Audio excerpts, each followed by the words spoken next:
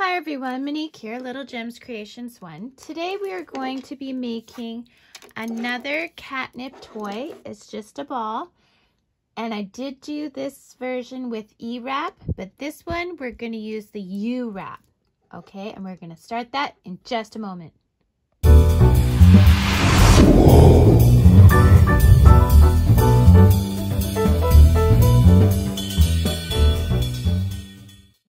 Everyone, Monique here, Little Gems Creations 1. Today we are going to bake to make a loom knit catnip toy. So you're going to need your flower loom. It's a 12 peg loom. You're going to need some yarn. Now normally you would use bulky yarn. I'm using this fun four ply yarn, but it's a very heavy, thick four ply, and that's why I'm using it. You're going to need, of course, your catnip, scrap material, and this measures 7 inches by 4 inches. You're going to need your darning needle. You're going to need a teaspoon. You're going to need um, paper and pencil if you don't have a stitch counter like me. Of course, your knitting tool, a needle, and scissors. Okay, I think I got everything. There will be a list. okay. And we're going to start that in just a moment. Okay, so the way we're going to start this is we're going to start with a gather um, cast on, okay? So we're going to start by winding our yarn around the start peg, okay? Now, we are going to just zigzag around our pegs, okay? Just like this. Just a simple zigzag, okay? Now what I'm going to do is I'm going to go around and I'm going to do a U-stitch. So that means you put, you lay your yarn, your working yarn across the front of the peg and you knit up. Okay.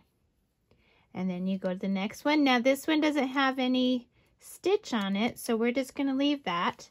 We'll go to the next one and stitch over. And this is the U. Okay, so we just laid across the next one and to the next one that had a stitch over it, we're just going to knit up that one. Okay. And then we're going to knit up. So laying across that one and then going to the next that actually has a stitch and we're going to knit up. Okay. Now we're going to do that all the way around. So that counted, we're back at our starting peg. So that counted as row one. Okay. And the way, the reason we're doing this is so that we can have it gather when we're done. So we're going to do a total of 10 rows. And now, since we have a stitch on every peg, I'm just going to go around. So what I do is I put the yarn around my finger and I just go around and knit up. Go to the next one, knit up. This also keeps my tension knit up. Go around, knit up.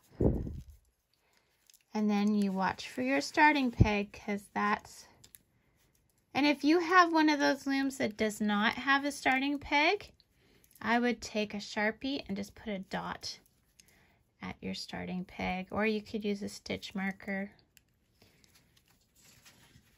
And there we go. I'm back to that starting peg. So I'm going to mark another row and we want a total of 10 rows. So I'm at two. We're just going to keep going, okay, with the U-stitch. 10 rows. Okay, you do that and meet me back. Okay, so I've done my 10 rows. So now what I'm going to do is I'm going to take my working yarn and I'm just going to wrap it around all the pegs. And that's just to make sure I cut enough yarn to finish off my project. So I'm going to thread my needle. And now my working yarn is coming out here. So what I'm going to do is go up and through and then I'm going to pop that stitch off. Now one thing you'll notice if you made my E-wrap version of this same cat toy, you'll notice that this is a much tighter weave. And that's something I like, especially if I'm using not bulky yarn. So this is a great project to use, um, you know, you can use bulky yarn, um, but if you also have some worsted weight yarn you want to get rid of, like this is a very heavy um, worsted weight yarn. I didn't like it because it didn't, even though it said it was a four ply um, medium weight yarn, it still was, it just worked up much thicker than my other yarn. So I don't want to use it in any of my projects. So this is a great way to get rid of it. Now the other thing is, Okay, we're on our last stitch.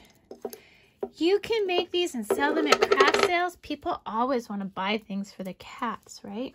Or their pets anyway. So now we're going to turn this inside out. Okay, and we're going to use this to gather it. Okay, then we're going to go through a few stitches. Okay. Pull tight. Now I'm going to go th back through one stitch that I've already gone through. Oops. Sorry about that. Okay, and then the loop I make, okay, let's make sure this is nice and tight first. See, we want to make sure that hole is closed. So the loop I make, I'm going to go through twice, and then I'm going to pull tight. Now you never cut where you're not. So now we're just going to go through a few more stitches and I'm still going in the in the round here, right?